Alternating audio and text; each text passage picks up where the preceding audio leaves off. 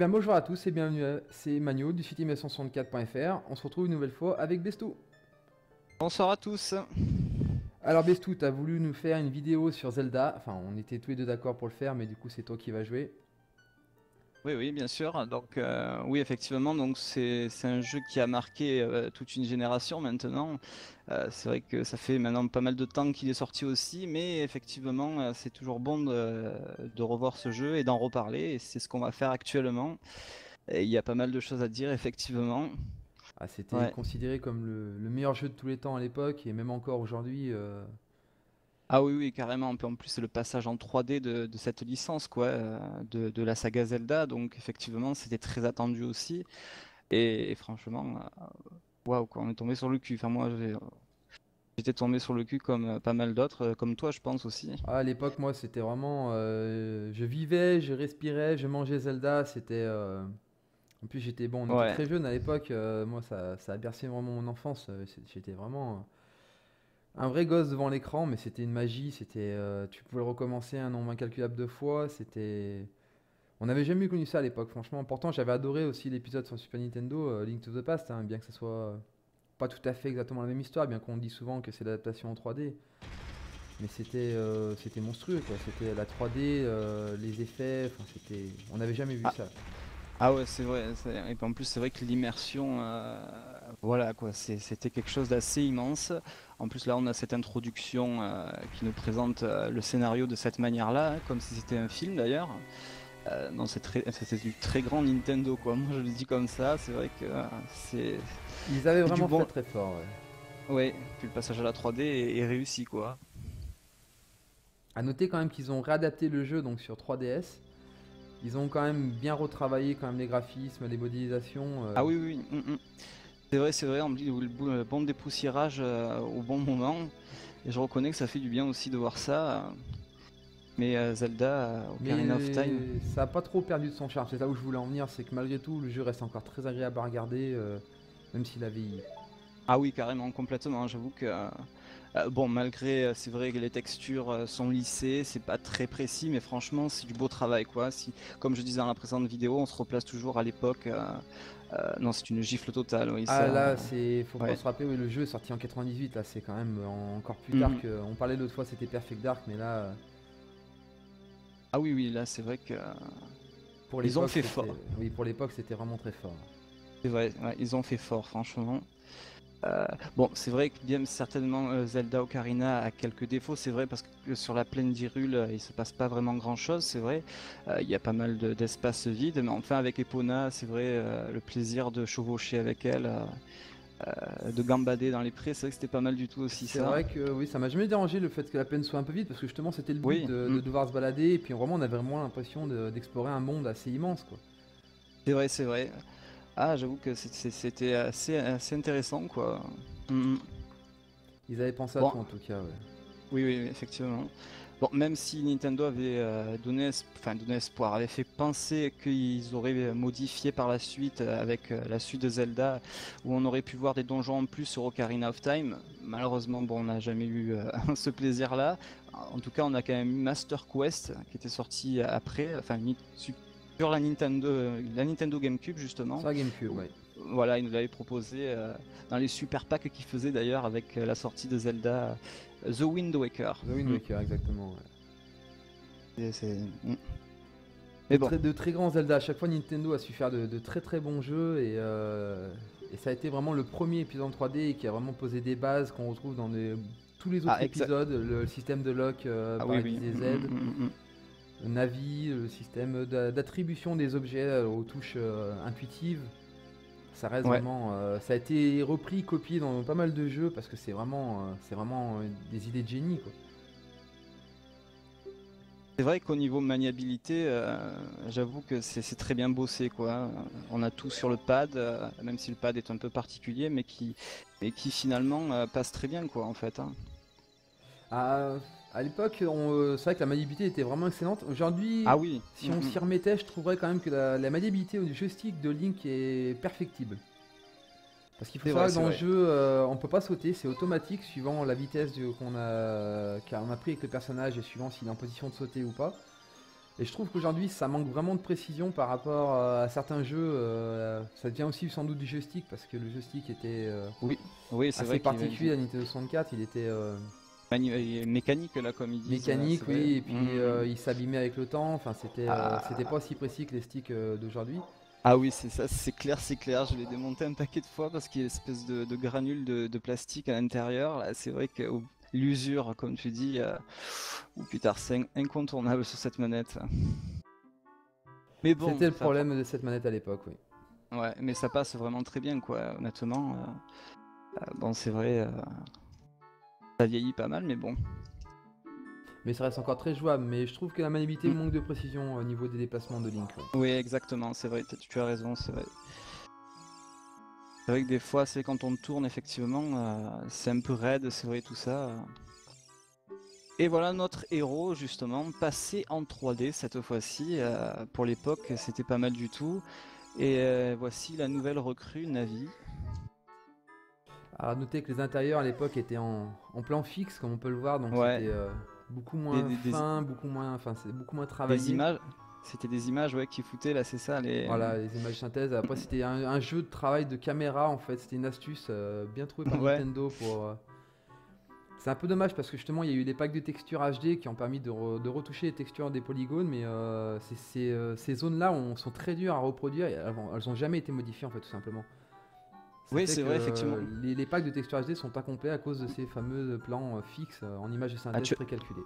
Tu as raison, c'est vrai qu'ils sont, ils sont jamais trop parvenus, justement, d'ailleurs, ils sont pas arrivés, euh, comme tu dis, à retexturer avec les trucs HD ces intérieurs-là. C'est dommage, c'est vrai, j'avoue que ça aurait été sympa aussi, mais bon, sinon, c'est vrai qu'il y a pas mal de packs de textures. D'ailleurs, si vous ne connaissez pas, euh, c'est à voir. C'est intéressant d'ailleurs, parce que ça en jette vraiment et vous redécouvrez même euh, Zelda Ocarina of Time avec des textures assez excellentes.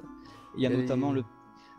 Oui, oui. Je, pense que tu allais le dire. En fait, il y a les packs de textures, soit elles sont en HD, soit le cel shading, donc ce qui fait que ça change carrément l'esprit du jeu mhm. et ça fait vraiment, comme tu disais, redécouvrir le jeu. Exactement, voilà. Et puis en plus, comme tu dis toi, cel shading, ça fait penser justement à The Wind Waker. Et puis euh, c'était qui en fait qui faisait ça déjà? C'était GP ou Gypsy, je sais plus, mais c'est vrai. JP, voilà. Et il s'est vraiment euh, réussi, quoi. Le mec, il a bossé. Euh, enfin, ils sont plusieurs, je pense, sur le projet, mais. JP, non, il était tout seul. En plus, il est français, JP. Donc, je lui avais proposé un jour de faire une vidéo où on l'interviewerait. Donc, il était d'accord. Donc, il faudra lui proposer ça, un de ces quatre. Exactement, c'est vrai que son travail est assez fabuleux.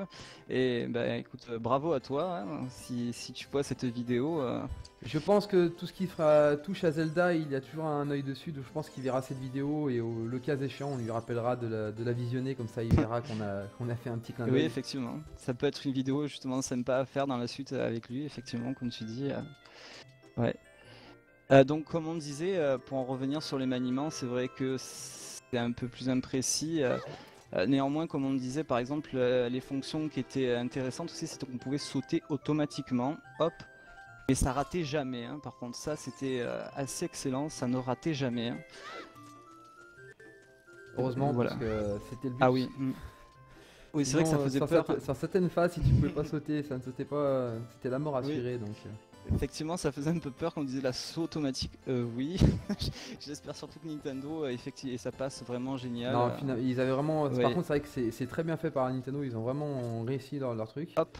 Alors, par contre, ça pardonne pas. C'est que dès que tu mordais un peu comme tu viens de le faire euh, à l'extérieur. Effectivement, je me suis bien cassé la figure, mais ça, ça vient en fait, comme tu dis, de l'imprécision du, du, stick en fait. Hein. Euh, mais néanmoins, bon, si on se concentre un peu, ça passe quoi. Donc, euh, je vais le réessayer pour montrer. Euh, et on pouvait, la, caméra donc pouvait être recentrée justement un peu de manière manuelle aussi. Grâce au fameux bouton Z. Ah.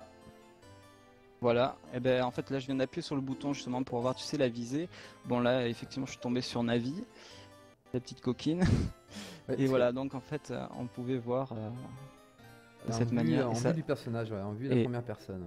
Ça, c'était magnifique quand même à l'époque. À l'époque, c'était. Euh, ah oui. Un petit effet de brouillard quand même, on le voit là sur les textures ah, un peu éloignées. malheureusement, c'était le problème de la console au début, enfin même après. Hein, exact. Exactement, oui, oui, comme tu dis, c'est la, distance d'affichage, oui, était un peu limitée. On voyait ça aussi dans GoldenEye, euh, aussi, euh, enfin par exemple GoldenEye, euh, dans Surface, c'est vrai qu'on voyait pas mal le brouillard, comme là bah, encore Surface, c'était un niveau neigeux, donc ça, jouait sur l'ambiance, donc ça gênait pas. Oui, oui. Mais c'est mhm. des jeux comme Turok surtout qui, qui s'en servaient pour l'ambiance, mais qui à la base servaient à masquer tout le, tout le clipping des décors qui s'affichaient, quoi, tout simplement. La, console en fait est capable d'afficher une très grande distance d'affichage, mais euh, au dépit malheureusement d'une trop grande consommation, d'un dépit un peu du framerate. Donc pour tricher en fait les développeurs mettaient ce brouillard euh, qui est très moche malheureusement, mais qui était euh, très présent dans les jeux de l'époque. Mais justement voilà, effectivement comme tu dis, il contournait de manière judicieuse petit euh, défaut, enfin si je peux appeler ça défaut, parce que finalement c'est pas si gênant que ça. C'était pas si gênant que ça, mais euh, à l'époque les mhm. gens aimaient bien dire euh, oula c'est pas beau, bref. Ouais. Alors. Donc, du coup on, on, est au début de l'histoire, on a été convoqué par l'arme Mojo et tu dois trouver une épée et un bouclier. C'est ça exactement. Et là je suis actuellement donc sur le chemin vers l'épée. Exactement. Parce que le bouclier, ça sera plus compliqué vu qu'il va falloir essayer de glaner des rubis ici, euh, ici et là. On peut voir, héritier des autres épisodes, c'est le petit plan justement qu'on a sur la droite en bas là. Euh, donc ça c'est bien pratique, c'est vrai dans un univers en 3D, euh, on savait pas trop forcément s'il n'y avait pas de plan où on allait. Enfin moi c'était au début, ça me faisait cette impression là. Et c'est vrai que c'est plutôt sympa ça permet de bien se repérer, quoi qu'il y a des moments où on est un peu quand même un peu perdu. Euh, certains donjons en fait je pense qui sont euh, très symétriques et des fois on sait, sait plus trop si on euh, de quel côté on vient quoi. Heureusement ils, avaient fait les marques sur la carte en rouge de là où on est rentré, en jaune c'est là, là où on se dirige. Et la fameuse épée. Et hop là, ça c'est dans la poche, ça c'est fait. Si seulement c'était aussi facile de trouver des objets dans la réalité, mais non. Oui, c'est vrai que. Et donc là, dans cet univers, euh, tout tombe. Euh, enfin, il faut quand même chercher, mais ça fait bien plaisir de trouver ça. Et on va arriver justement sur le panneau euh, de d'inventaire et, et, bien plus. Parce qu'on peut justement changer aussi d'habit au fur et à mesure qu'on avance dans l'aventure, comme on voit actuellement c'était vraiment sympathique par contre. Hein. Le gestionnaire d'inventaire était, était, pas mal fait. Alors on précise juste en émulation, mais voilà, il y a des petits bugs graphiques, c'est un peu long à charger, c'est normal, ça vient de l'émulateur et du plugin, hein, mais. Et oui, et là, j'avoue que. Mais bon, ça s'en sort plutôt pas mal quand même, malgré, c'est vrai, comme tu dis, le problème euh, d'affichage. Oui, bah là, on passe par un émulateur particulier qui est un plugin aussi euh, de base pour pouvoir jouer sans problème en online, donc c'est pour ça, mais euh, après. En solo, chez soi, on peut utiliser un émulateur bien plus puissant, euh, avec des plugins euh, aussi plus puissants, malheureusement, parce que pour certains, euh, certains plugins ne passent pas. Je fais référence à Glide, qui est le meilleur plugin pour émuler ce jeu, mais qui passe pas sur tous les PC. Je pense que tu es bien passé pour le savoir, Bestou. Oui, exactement, c'est vrai. Donc il y a plein de petites alternatives, de petites astuces en émulation, et ça c'est assez sympathique aussi. heureusement d'ailleurs, parce que c'est vrai que s'il y aurait qu'un plugin, ça serait un peu dommage. Euh, voilà, donc ça, du coup, le coup de la technologie comme ça, c'est pas mal.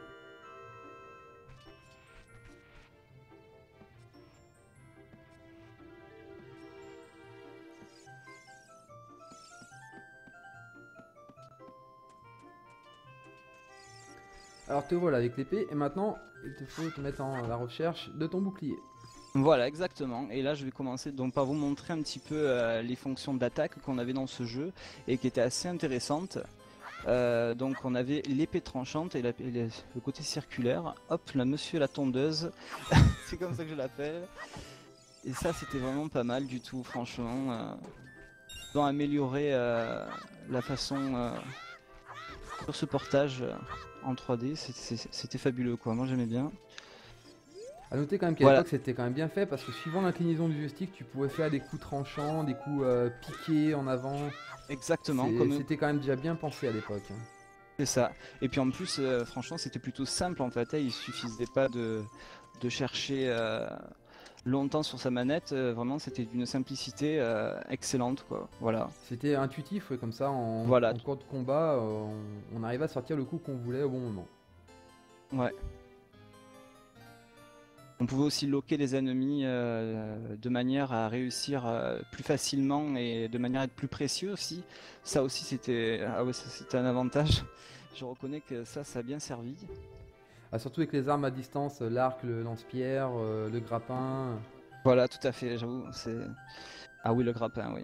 Ah, pétard. Ça, c'est un objet indispensable. Hein. Ah, c'était euh, une des meilleures inventions aussi. En fait, parce qu'il a mm. euh, une multitude euh, d'utilisations, ce grappin. Outre s'agripper justement à certaines zones, il permettait de tuer les ennemis, de récupérer des objets. Enfin, c'était vraiment voilà. l'objet touche à tout. Ouais, et en plus, si je me souviens bien, on pouvait, on pouvait upgrader justement. et après, il y a le super grappin. Oui, voilà, exactement. Plus, beaucoup plus long, il envoyait beaucoup plus loin. Donc, ça, c'était sympathique. À la base, il faut le rappeler, c'est un jeu d'aventure, mais ça reste un, RPG, donc il y a vraiment une progression, une amélioration de l'équipement et des objets. Donc certains objets où ils deviennent, euh, on a, en fait, on récupère des versions améliorées de certains objets, tout simplement. Voilà. Tout comme nous-mêmes, on peut améliorer notre résistance, notre magie. Euh, il y avait différentes, euh, les grandes fées, je pensais particulièrement les cœurs de vie aussi, euh, qui dans l'aventure principale, si on, se souvient qu'on gagne effectivement à chaque fois qu'on bat un boss, on gagne des respectacles de cœur, c'est comme ça qu'il appelle, mais aussi on pouvait euh, améliorer ça euh, en faisant recours aux quêtes annexes qui permettaient de récupérer des quarts de cœur. Voilà, je me souviens bien de cette, de cette quête, c'est vraiment très... vraiment pas mal quoi, et puis ça a rallongé justement la durée de vie et ça c'était pas mal du tout. Bah, l'aventure principale est déjà extrêmement longue mais si on fait toutes les petites quêtes annexes ou les mini-jeux en fait c'est une durée de vie qui est, euh, qui est pas infinie mais presque, il y, a vraiment, il y a vraiment de quoi faire en fait dans un Zelda. Ça, l'allonge oui, euh, ça l'allonge même très bien quoi. Et après justement c'est dans le second euh, Majora's Mask où ils ont alors là bossé comme des, durs sur les quêtes annexes, les quêtes annexes et oula quel défi. Euh, Majora's Max en plus, euh, ce qu'ils ont fait, euh, la bonne idée c'est d'y répertorier dans le journal en fait des Bombers, donc c'est le petit groupe d'enfants auquel on appartient dans, la suite en fait. C'est ça, dans, dans Bourg-le-Clocher, là dans le village au centre. Voilà, et ce qui fait qu'on est, on s'y perd un peu moins sérieux que dans Zelda, là on avait quand même, on ah non, mais facilement enclin en fait à se perdre, à oublier de faire certaines choses. Ouais, j'ai oublié encore quelques, quelques rubis, oui. Ah, excuse-moi de t'avoir coupé. Non, non, mais moi, tu vois, de mémoire, je pensais qu'il fallait 50, en fait, on sait 40, tu vois. J'allais te ouais, dire effectivement. je me suis un peu gouré, mais enfin. Oui, donc pour en revenir, c'est vrai, au euh, Majora's Mask, euh, c'est vrai qu'ils avaient amélioré le côté euh, carte, repérage des lieux, quoi. Plus qu'on soit trop perdu. Hop. Ah, il en manque un petit peu. Et hop là Putain, alors en plus, euh, il se compte sur le bout du doigt celui-là. Voilà. La BO par contre, là on vient d'entendre la musique. Moi j'adore la BO, franchement. Euh, elle plonge euh, en immersion encore plus quoi. Hein. C'est vrai qu'elle est très réussie malgré que ce soit un des premiers jeux de la console et la console était très critiquée au niveau sonore, au niveau contenu en fait, surtout sonore. Il n'y avait pas de voix par exemple dans, dans, dans, un, dans, ce, Zelda et même dans d'autres euh, dans d'autres jeux de la console. Ouais. Alors moi ça m'a jamais vraiment perturbé parce que je trouvais, je, trouvais que c'était plus facile au moins de s'identifier au héros parce que justement on parle le héros, le nom du héros apparaît souvent dans les, dans les paroles. Mais quelques petits passages dans certaines cinématiques ça aurait pu être sympa je pense. Ouais. C'est vrai, c'est vrai. Bon, il y a quelques personnages qui de temps en temps vous font un petit hello ou, euh, des, ou des ricanements, mais c'est vraiment tout ce qui ont tout ce que Nintendo a inclus au niveau sonore dans le jeu. Ouais, exactement. Navi aussi, c'est vrai, aussi à son, à sa petite voix. Hello. Très, particulière et. Euh, ouais. Je te conseille d'équiper ton, ton, bouclier, sinon il va pas vouloir que tu passes. Exactement. Alors, donc je reviens dans cette, euh, dans ce menu qui est quand même très bien pensé.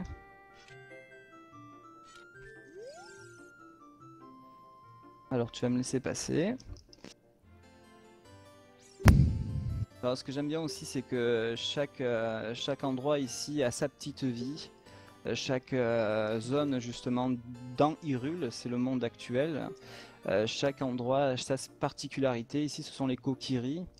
Ce que j'aime bien c'est que voilà, c'est la différence, la variété des zones, des peuples aussi. Ça c'est pas mal du tout. Les Gorons, les Auras, voilà. les, Les Iruliens Quand tout ils court, ont- tout simplement. Mm. Ils ont chacun donc leur zone où ils vivent, donc euh, ils sont assez tranquilles. Et surtout, moi, ce que j'aime dans le jeu, c'est euh, le, le côté vivant, justement. C'est que les, les- les villageois font leur, leur petit train-train dans, dans le village. Euh, Le cycle jour-nuit, c'était aussi une première à l'époque dans, dans un jeu. Ah oui, exactement. Tu, tu- tu as raison d'en parler. C'est vrai, le passage euh, euh, du jour et de la nuit euh, de manière réaliste, quoi, en fait, hein, comme si on, on vivait vraiment euh, au fil des jours. Et ça, c'était très bien, franchement. Ça, c'est une première d'ailleurs dans Zelda Ocarina of Time. Ça en colle une certaine gifle d'ailleurs. Bah après, c'est sûr qu'ils ont repris Mm. l'idée, mais c'est vrai que c'était une première. C'est d'ailleurs le système qu'ils ont vraiment principalement repris dans Majora's Mask, puisque Mhm. Majora's Mask est bah, est un jeu basé sur le temps où on a une, une durée limitée de 3 jours Ah oui, dans le oui. jeu. Donc euh, c'est vraiment, ils ont vraiment encore plus insisté sur cet aspect vivant. euh, Oui, c'est vrai cette histoire-là. Euh, bon, après, euh, Majora's Mask donne un certain fil à retordre, si je me souviens bien. Euh, Parfois, c'est même la crise de nerfs. enfin bref, après. Il était plus compliqué sur, certaines, sur certains passages, mais beaucoup plus court au niveau de la quête principale, car seulement 4 boss Oui. principaux euh, pour, pour arriver au que- boss final. Le scénario était, comme tu dis, euh, vraiment écourté, mais c'est dommage. En plus, c'est vrai que euh, il dévoilait un peu toutes les clés du mystère au début, là, si je me souviens bien. Mais il est plus court, mais il est plus intense au niveau stress, tension, alors que ce Zelda-là, Ah on peut plus le, le savourer tout simplement, parce que déjà il y a trois boss en version enfant, quatre en fait, parce qu'on fait des voyages en fait dans le, dans le temple du désert entre euh, version petit et version adulte. Mais après il y a sept vraiment euh, boss principaux après en version adulte, et donc ça fait quand même une dizaine de boss potentiels, c'est quand même beaucoup plus long que, que, que sa suite, euh, qui n'a que 5 boss euh, officiellement. Hop là, tapé.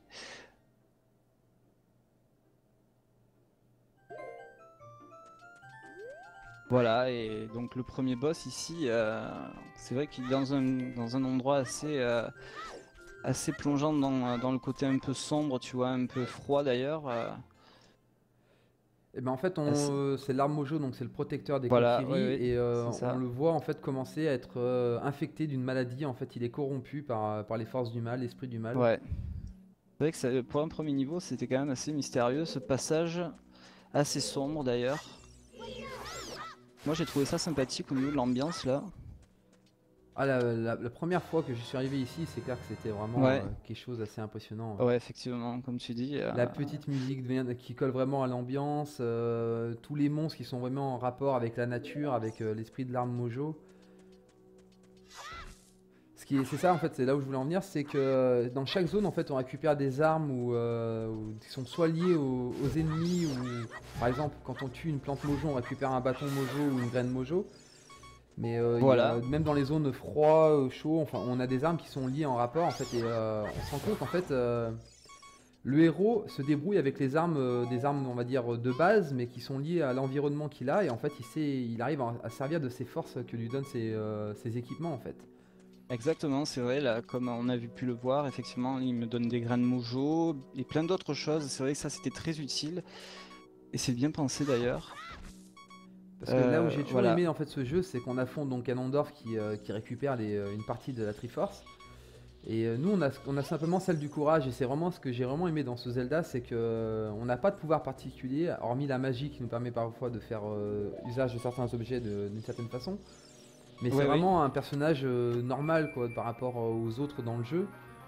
Qui Mhm. affronte par contre un personnage plus puissant, mais qui, le, qui arrive à le vaincre grâce à la subtilité de ses armes, grâce à- aux astuces euh, face aux différents boss.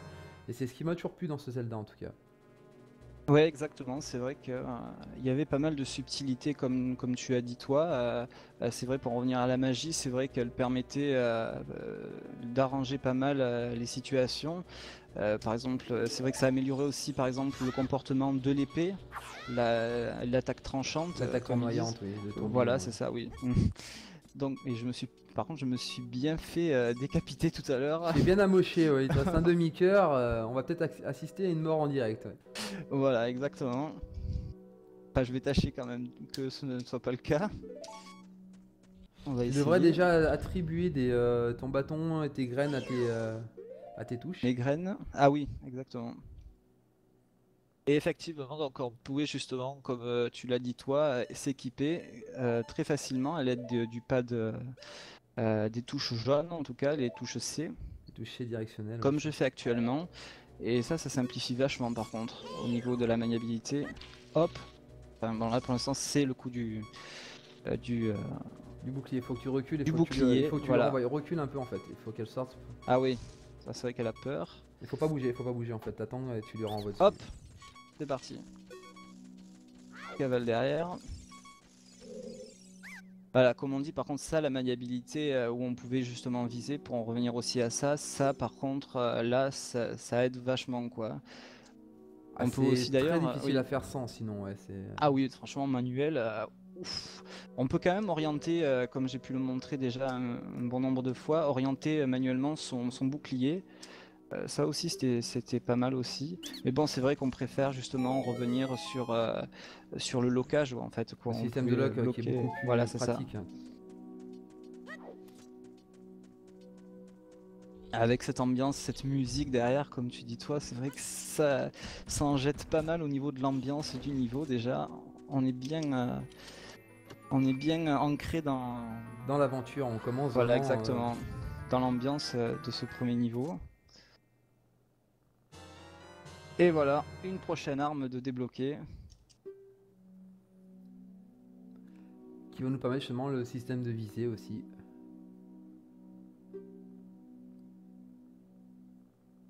Grâce au joystick. Alors là, je vais m'équiper directement de ce fameux lance-pierre. Oui, parce que tu vas en avoir besoin tout de suite. Voilà, exactement. Et ça, euh, et ça pour plus tard, justement, ça sera l'équivalent euh, du fameux euh, lance. non, du fameux arc. Voilà, l'arc. À savoir que voilà, il y a des armes qui sont utilisables que quand on est enfant et des armes qui sont utilisables que quand on est adulte.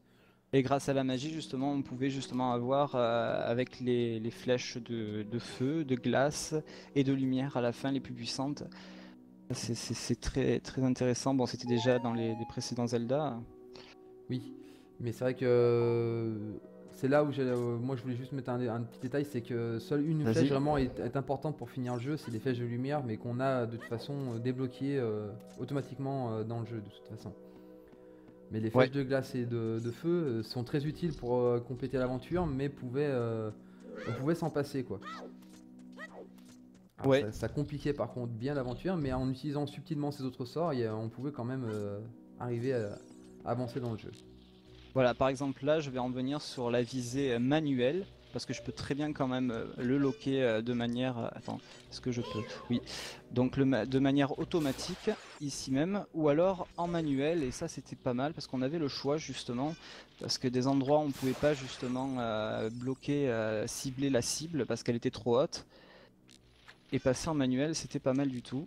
En fait, Par contre, ce qui nous permet de lock, c'est Navi, et des fois Navi ne détectait pas le, le, mob, l'ennemi. En fait, euh, ça c'était par contre un petit problème dans certaines zones, c'est que euh, on avait beau essayer de bien se placer, euh, on n'arrivait pas à, locker justement l'ennemi. C'est vrai, c'est vrai. Donc du coup, c'est vrai que leurs petites astuces d'avoir mis cette option manuelle s'avère très intéressante pour le coup.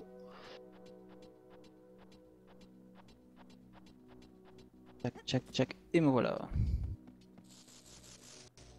Alors, euh, non, je vais pas aller là-bas parce que ça servait à rien. Donc, je vais commencer par me battre contre une euh, sculptula géante. C'est comme ça qu'il appelle ici. C'est vrai que d'apparence, euh, quand on est gosse, il y a de quoi avoir un peu des froids dans le dos. C'est vrai, c'est vrai qu'elle faisait. Il y a certains ennemis dans le jeu qui sont vraiment très bien un, level design vraiment très bien pensé, ouais. exactement, c'est vrai, c'est vrai. En plus, la musique elle change à ce moment-là. Lorsqu'il y a un danger, donc ça mm. mettait un peu justement la pression. Et un petit truc qui s'est passé, qui s'est produit là, que j'adorais moi, oh non. c'est que lorsqu'on rencontrait un ennemi, non, il fallait monter encore d'un niveau pour pouvoir le faire. Ah ouais.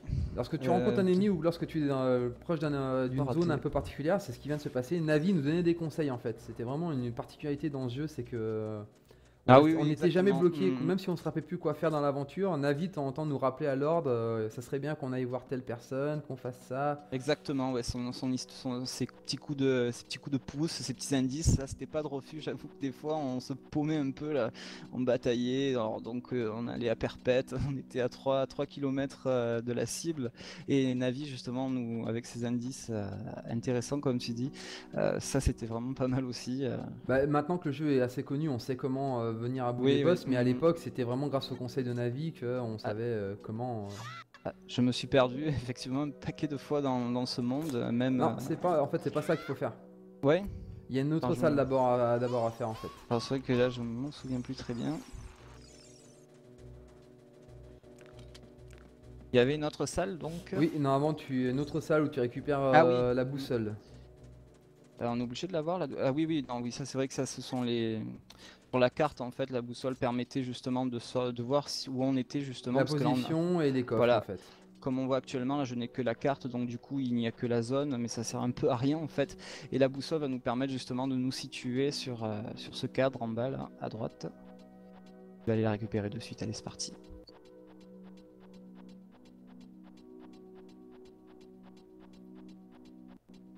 C'est du très grand Nintendo quand même, franchement. Après, C'est toujours aussi agréable à regarder. Tu vois là, je, je regarde et euh, c'est toujours autant un plaisir. euh. ah c'est magnifique. Moi, Je dis bon, c'est vrai à part, c'est vrai quelques pixels certes, mais c'est vrai quand même qu'ils ont bien travaillé, euh, comme tu disais, le level design, les graphismes, les textures aussi.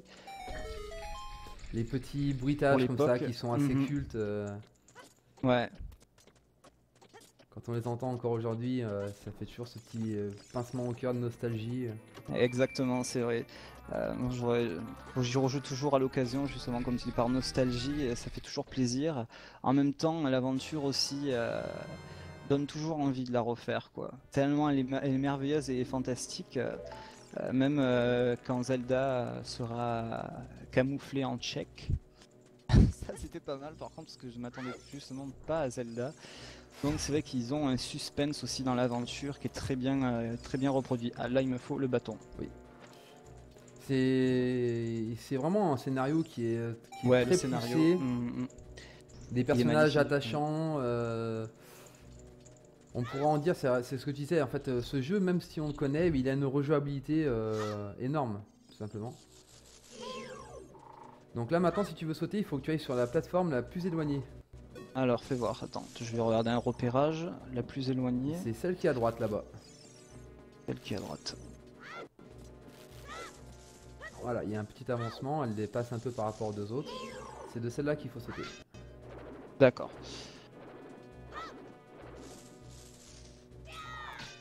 Mhm. Il faut attendre qu'elle se retourne. Ah Ouais, ouais, ouais.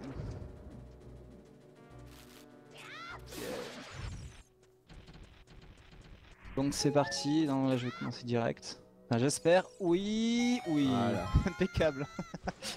voilà.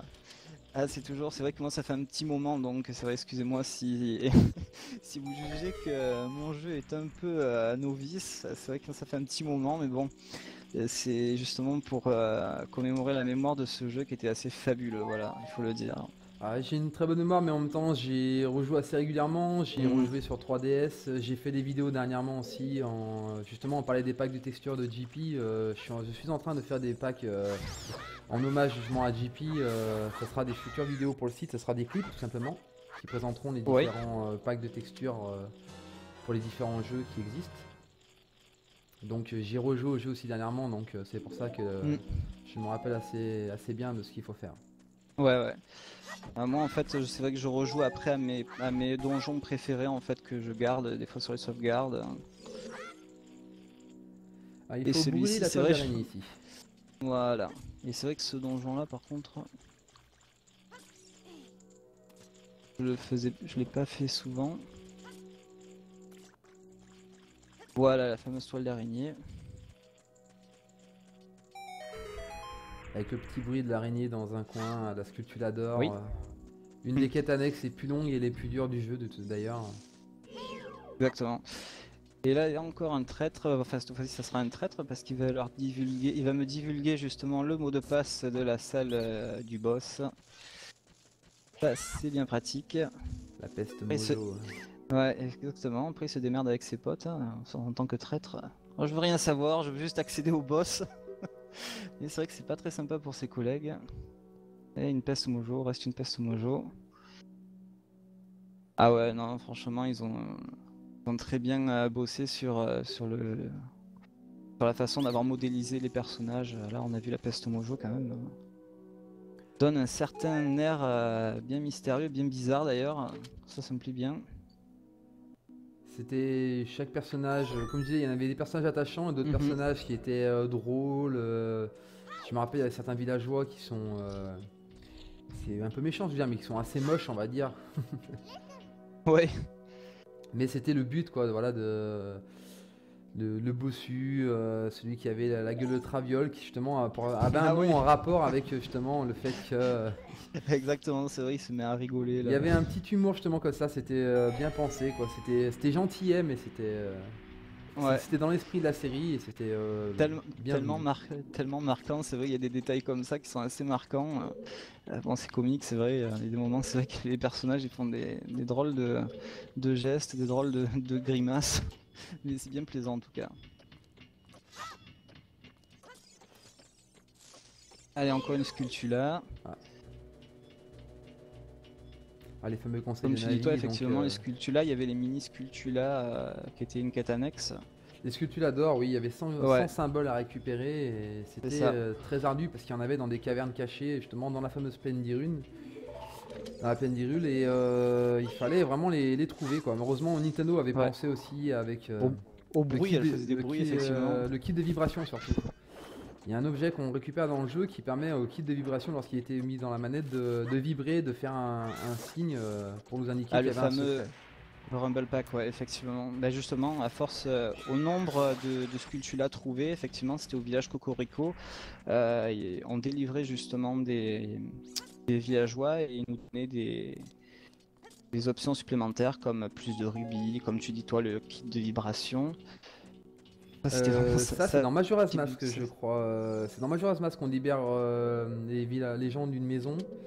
Dans Zelda, Zelda, c'est, je sais plus. où Ocarina of Time, oui, bien sûr, oui, oui, c'est ça aussi. C'était présent aussi dans le village Cocorico. Quand on, quand on tuait des sculptures là, ça, justement, ça, retirait un maléfice qui était jeté sur des villageois qui sont enfermés dans une maison en fait. Et au nombre de sculptures là tuées, justement, on, on- on permettait justement, ils nous donnaient justement une option supplémentaire, comme je disais, plus de rubis. Oui, oui, c'était dans, aussi. C'était aussi dans of Time, d'accord. Voilà, voilà, c'est ça. Mm, mm. Oh, elle en a encore, euh, tu me fonces dessus celle-là. Et elle est.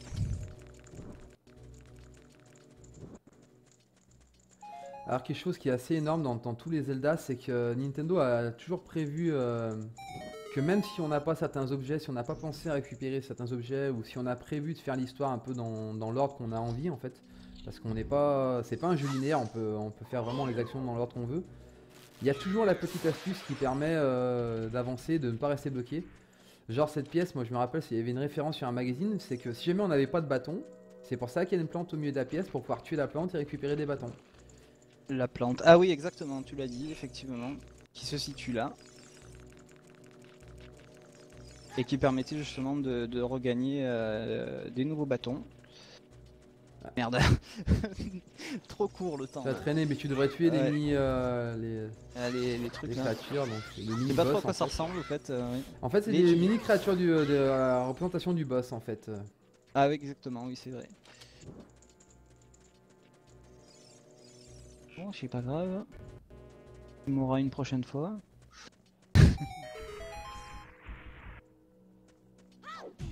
L'astuce pour pas faire brûler un bâton, c'était de dégainer ton épée en fait. Exactement. Et oui, comme ça je pouvais le conserver, c'est ça, oui. Bon, là je l'ai fait cramer, mais bon. Bon, c'est pas là. ouais. Alors là.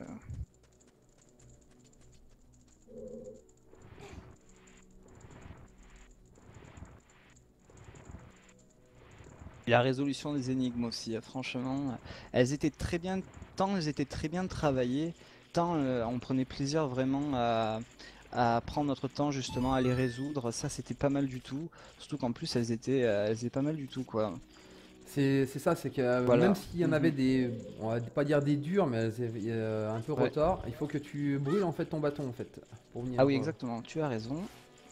C'est qu'en fait, euh, il y en avait des, des ardus, mais quand on est euh, pas impossible à accomplir, il suffisait un peu de réfléchir, de bien observer, et en fait, on arrivait à comprendre en fait la petite subtilité. Et on était toujours content lorsqu'on débloquait quelque chose dans, dans Zelda, on est toujours très content d'avoir ici. Tu devrais ranger ton bâton parce que tu n'en auras plus après. Heureusement, l'eau Ouais. t'a aidé. Mais là, il est parti dans l'eau. Attends, je vais regagner mes vies. Ouais. Et effectivement, donc pour en revenir aux énigmes, euh, c'est vrai qu'après ils nous ont sorti justement Master Quest qui donnait des énigmes de plus, plus difficiles dans euh, les donjons d'Ocarina of Time. Euh, par contre, c'est dans le second, oui, c'est ça. C'était le second Zelda, je me souviens de Majora's Mask. C'est vrai que les énigmes, par contre, c'était un peu plus casse-pied. Par contre, moi j'avais trouvé. C'est dommage qu'ils nous avaient mis ce temps C'est la limité. donc, euh, deuxième, troisième, Mm. première pièce mojo dans l'ordre. Alors, dis-moi. C'est la deuxième, c'est celle du milieu d'abord. ouais. Défoncé. Donc là, il faut que tu tapes maintenant la troisième aussi, parce que tu n'as pas commencé dans le bon ordre. Bon, mais là, je crois que là, j'ai- c'est Il bon. faut recommencer. Donc, d'abord, madame. D'abord la 2, recule un peu, je te conseille de reculer sinon tu vas prendre des graines sur les côtés, voilà. À chaque fois.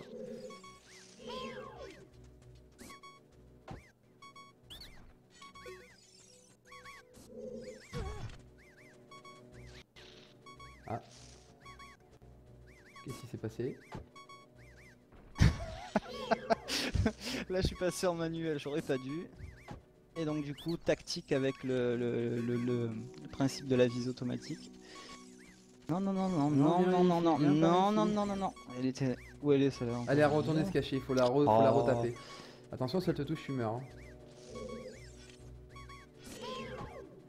Là, j'ai failli, par contre. Heureusement qu'il y avait le, la visée automatique. Ah, ben voilà. Nous y voilà. Et premier boss, première sensation euh, euh, assez inoubliable. Bon, après ce niveau, c'est vrai, je l'avais pas souvent trop fait, mais c'était effectivement un premier passage assez, euh, assez prenant. Voilà. C'était une bonne façon de mettre euh, au point les bases, euh, savoir- se servir de son bouclier, de savoir utiliser les objets euh, intelligemment. Exactement, une bonne mise en jambe. Alors là d'abord, avant d'aller au boss, Oui, les vies, je sais. Enfin, il y en a sur les côtés, je, je pense. hein. euh, C'est vrai, j'ai oublié, Je ouais. sais plus ouais, s'il y en avait en Je fait me- avant, en fait c'est ça que je voulais dire, tu, si, tu, euh, si tu coupais les plantes. Mais je crois qu'ici, euh, s'il doit en avoir quelque part de toute façon. Bon, le Waouh, boss, de toute façon assez facile. hein. Waouh, waouh, waouh, waouh, l'ambiance qu'il y a ici. Donc les expressions faciales aussi. À, l'époque, c'était euh, c'était la première fois qu'on voyait ça. Mm. C'était Tu l'as dit, tu l'as dit, les expressions faciales de Link. Ouais, et là on voit la bouche qui s'ouvre, Navi qui sort. Ah, ça c'était très bien bossé quoi, Et là, comme franchement. disais, le côté sombre, là, on, a- on est dans une pièce déjà beaucoup plus sombre. Le petit, Ah, et tu le petit bruit un peu stressant, un petit peu angoissant, on se demande euh, sur quel boss on va tomber, bien qu'on ait déjà une petite idée euh, au vu des, des nombreux, Bon écoutez, je vais me... mobs. Ouais, ouais, exactement, bon, je vais me la tenter quand même. Tant pis pour les vies, j'ai fait la gourde tout à l'heure. Tartes, tu sais que je là, honnêtement, j'ai les frissons encore de voir ce jeu comme ça, avec une, une- ambiance aussi intacte, quoi, ça ne vieillit pas. Euh, moi, ça me met euh, la nostalgie, quoi, ça me fait, ça me fait des frissons, quoi, tellement c'est excellent, quoi. Ça, commence à bercer toute une enfance, c'est excellent, quoi. Ah, ça, je m'en souviens, ça y est, effectivement, ça c'était pas mal du tout. Quand j'avais vu par contre des speedrunners, c'est excellent comme ils font quoi. Mais comment ils font ça? Ils doivent avoir des outils de toute façon. En fait, ils utilisent des, des- des logiciels ouais, qui permettent de produire certains euh, mouvements précalculés, donc c'est vrai que ça va plus vite. ouais. C'est la folie. Ouais, mais par contre, c'est vrai que c'est c'est Là, assez tu peux la vider, là, tu peux la tirer avec ton lance-pierre. Comme tu disais toi, effectivement, c'est assez simple. Là, t'es en train de me.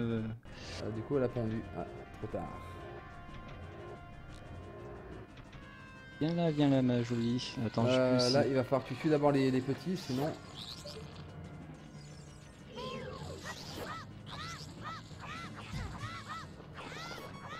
J'ai pas envie de mourir. Attention. Bon, heureusement, plus qu'une dernière. Ouais, je crois qu'elle me délivre des vies, non Non, Putain, ça dépend, mais. euh, En fait, J'ai pas de si- chance. Si, tu te dépêches, il faut vite euh, viser l'œil en fait, ouais.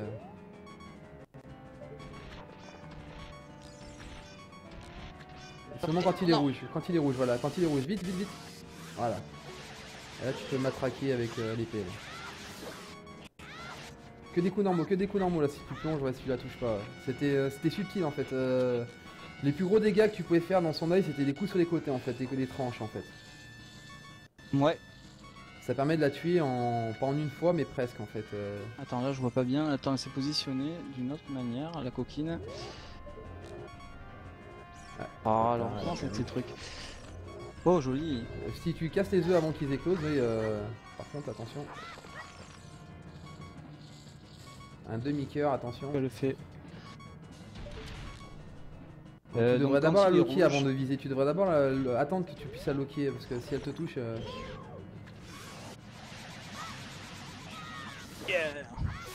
Ah Effectivement, j'ai des sensations euh, qui me reviennent euh, comme à l'époque. Waouh la- L'animation. la première fois qu'on voyait Ouais. ça, c'était. euh, on disait vraiment d'avoir vaincu un boss quoi. C'était La musique et tout qui va avec. et le fameux réceptacle de cœur. Comme on disait, qui permettait d'améliorer sa durée de vie. Qui sera le bienvenu vu que là tu étais sur le point de mourir. Tu as raison, c'était moins une. Mais voilà, on s'en est, s'est sorti.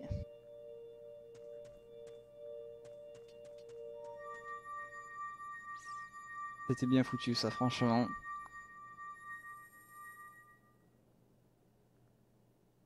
Bon ben, je pense que bon, on va vous laisser euh, la on va en rester là sur, cinématique, ces, euh, oui, voilà, sur cette vidéo, hein, sur cette euh, cinématique. On va sur, ce, sur le, soit la, la cinématique qui va suivre et qui nous dévoile un peu la suite du, du scénario. Mais néanmoins, franchement, euh, on n'en est pas mécontent de ce fabuleux jeu.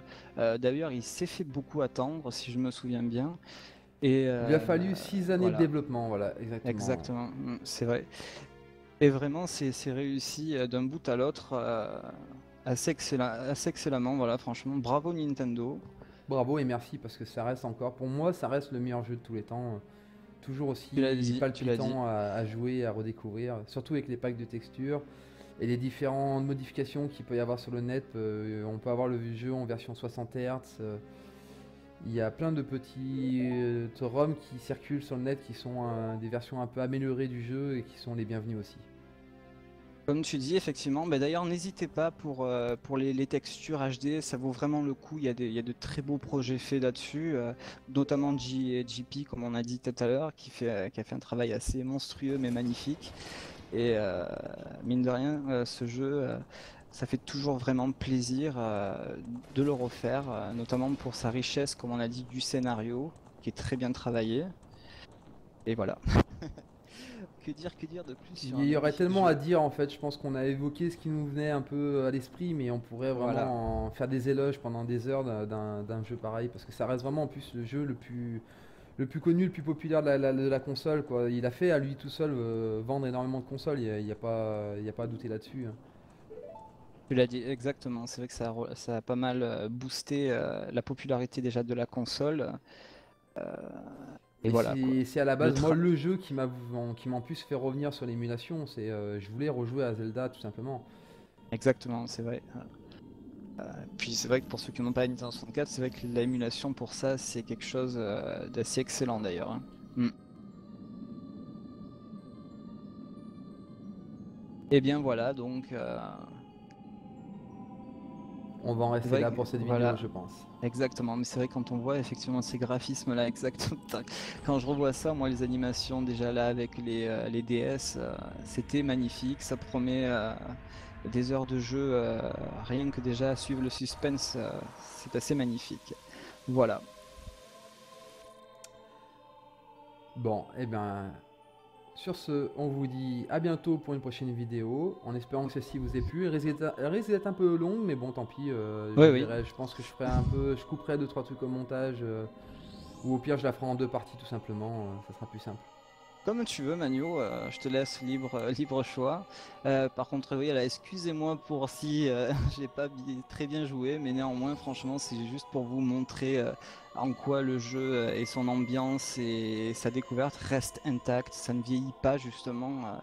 C'est assez incroyable d'ailleurs, c'est intemporel, c'est magnifique, voilà, tout simplement du grand Nintendo, je le répète encore une fois. Et voilà, c'est très difficile de jouer et de mhm. parler en même temps, donc euh, tu es déjà trop ouais, puis, moi c'était facile, mhm. je connais, je me rappelle, donc j'ai en plus j'ai pas la mettre dans les mains. Si c'est moi qui avais joué, j'aurais sans doute fait pas mal d'erreurs aussi. ouais, ouais. Et effectivement, comme, j'en suis euh, à, ma première première expérience justement de faire euh, des tests vidéo, et là pour la première fois en, simultané avec toi, voilà, ça permet justement de faire ses dents là-dessus. Mais non, moi je suis pas mécontent de ce jeu, euh, d'avoir refait euh, ceci. Voilà, à toutes et à tous, ben, à la prochaine pour une prochaine vidéo test. Au revoir tout le monde, amusez-vous bien.